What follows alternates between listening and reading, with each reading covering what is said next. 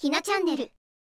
今日は早々のフリーレン。僕は感想会ね。今回は原作11話村の英雄。から始まりスタルクの実力を見せるエピソードだったな。フェルンがスタルクを見下す視線が最高よ。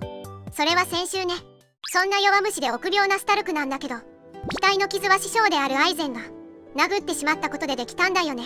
あのアイゼンがスタルクのことを怖がってしまい反射的に殴ってしまったんだよねそれってすでにアイゼンより強かったってことかな。ど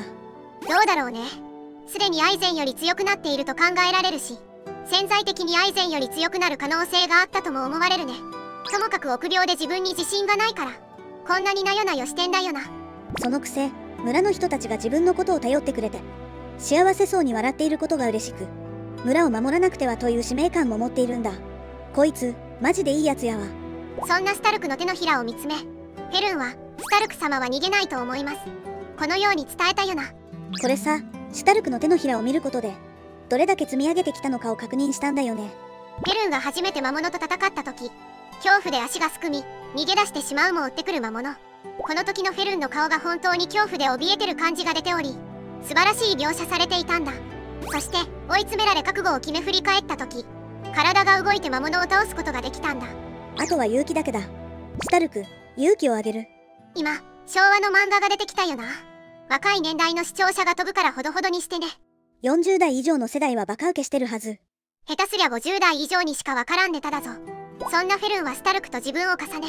必要なものは覚悟だけと分かって伝えたんだろうな。勇気じゃなくて覚悟だったか。もうそのネタへは。フェルンが宿屋に戻りフリーレンと会話をするんだけどここはアニオリで追加されたシーンなんだよね。フェルンがきっと大丈夫だと思いますとフリーレンに伝えた場面よね。あんな目でシュタルクのことを見ていたのに。実は心の中で認めていたんだよ。この場面が描写されたことで信頼できる仲間として一緒に戦えると描かれているんだ。そしていよいよ竜と戦うことになるんだけど臆病なスタルクは手を振るわせていたな。誰かのために戦うことだけでなくこの臆病で体の震えるところまで師匠に似ちゃったんだよね。アイゼンはそんな臆病と恐怖が自分自身の背中を押すことで勇者パーティーの前衛で戦えるほど成長できたんだよ。フリーレンはシュタルクの震えを見ることでアイゼンを思い出しシュタルクなら安心して今のパーティーの前衛を任せることができると思ったんだろうね。それを確信できたのはスタルクが竜の前に立って安易に竜が襲ってこなかったからだったな。竜は賢い生き物であり強い相手に喧嘩を売らないからね。竜の靴の中からスタルクを見せるカットや回り込んで接近するカメラワークとかすごかったよね。本当にアニメならではのかっこいい描写だったな。スタルクは襲ってきた爪を破壊し攻撃を避け竜の脳天に一撃を与えフリーレンに魔法を打つように言う。しかし一向に魔法で攻撃をしないフリーレンに放った言葉はふざけんなよクソババア。こんなに可愛いエルフに対しクソババアはないわ。さらっと流してるけどかなり気にしてるもんな。うちなら3日ぐらいで忘れるかもだけどエルフの3日は人間では数年ぐらいの感覚だしね。私はクソババアとか言われたら一生恨むわわら人形とか使って呪いそうね。そんな生優しくは終わらせない。何されるのかわからんくて怖いわ。スタルクは自分が倒した竜を見て少しだけ自信がつき本当の村の英雄になった瞬間なんだよな。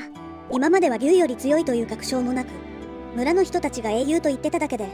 少し後ろめたさがあったもんね。アイゼンには一度も褒められてないのにフリーレンに褒められたことで一段と実感が湧いたんだろうね。うちもフリーレンに褒められて感激しながら抱きしめたいわキモいわアイゼンはフリーレンのせいで勇者一行の冒険がくだらない旅になったというもくだらなくてとても楽しい旅だったとこのようにも言ってたみたいだね。フリーレンがかき氷の魔法を自慢していた時アイゼンとヒンメルの会話で俺たちだって生きて帰れるかわからないんだ。僕はね終わった後にくだらなかったって笑い飛ばせるような楽しい旅がしたいんだ。この時のアイゼンはくだらんと一言返して終わったけど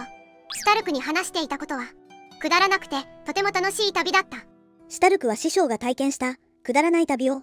フリーレンたちと一緒に経験したくなったんだろうね最後に服が透けて見える魔法を試したみたいだけどヘルンはスタルクの何を見て小さと言ったんだろうね。脳みそじゃないの？確かに脳みそ小さそうだけど頭蓋骨が透けて見える魔法じゃないから違うと思うぞ。画面も下にスクロールして言ってたしな。そしてこれからは3人でくだらなくて楽しい旅をしていくことになったな私も混ざりたいわ。お前は足手まといにしかならんやろ。さて B パートは原作12話北方の関所になるね。魔王城に行くためには北側諸国を通る必要があるんだがこの中央諸国の城塞都市バールの関所を通らなくてはいけないんだ。そこでフリーレンたちの前に立ちふさがるのがこの優秀な衛兵隊長だったわけね。フリーレンも言ってるけど優秀な衛兵なだけで彼は仕事を全うしてるだけなんだよねそんな時にフリーレンから出てきた言葉はしばらくここで待つとしよう。フリーレンのしばらくは人間の数年ぐらいの感覚だもんね。フェルンもこんな嫌な顔になっちゃうわけだ。ここでスタルクが食べているパフェなんだけど原作では過去の記憶の大きさとの違いが分かりにくかったんだ。でもアニメでは明らかに大きさが変わっており分かりやすかったな。私もパフェ食べたいわ。フェルンは2年以上待つことが嫌でスタルクに確認すると嫌だと即答で答えてたねシュタルクが普通の人の時間感覚で安心してたよ。まあスタルクの嫌だけど。はこの魔王城までの道のりの冒険を終わらせた後師匠であるアイゼンに土産話を聞かせたかったんだよな。自分のことは話さないのに勇者一行のことは楽しく語るほどの冒険。そんなたった10年の冒険を何よりも大切にしそんな師匠が経験したくだらなくて楽しい冒険を。自分自身も同じ道筋でくだらなくて楽しい冒険を経験しアイゼンとくだらなくて楽しい冒険談をしたいんだよねここでアイゼンがスタルクの肩を持ちながら話すんだけどこれもアニオリで追加されていたんだ本当に楽しく話していたということとスタルクのことが好きだったというのが伝わってきたよな喧嘩別れしたけどお互いのことが大好きなんだよねそんな楽しく語ってくれたように自分自身の冒険談を師匠に語り返すそれがスタルクにとっての恩返しなんだよなハイターが生きていたら同じことを考えたろうなとフェルンはスタルクの気持ちに共感していたね。ハイターも冒険談をフェルンに話していたのかもね。そんな2人が関所を早く通るという共有の目的のために行動していたら隠れているフリーレンを発見。隠れているフリーレンが可愛いわ。しかもさ最初から何かやらかした前提で話されてるよね。信用があるのかないのかこの関係も面白くて大好きだね。見つかった途端目の前でひざまずくこの絵隊長。いい感じで勘違いされ住民に歓迎された状態で見送られることになったね。このような光景をフリーレンは好きでないと言ったけど80年前のアイゼンやハイターも同じように旅立ったんだよな。シュタルクもフェルンも感慨深いものがあったんだろうね。ヒンメルたちと一緒にこの関所を通った時をフリーレンも思い出して悪い気はしていなかったもん。最後のこの場面もアニオリで描写が変わっており過去に勇者一行として出発したフリーレンとこれから出発する新しいパーティーを重ねて描かれておりまさに新たな旅立ちとして表現されていたよな。まあ最後はフリーレンの本音が出ていたけど。最後のフェルンとシュタルクのやりとりも原作と違っていたわね。原作ではフェルンがツッコミ入れてただけだもんな。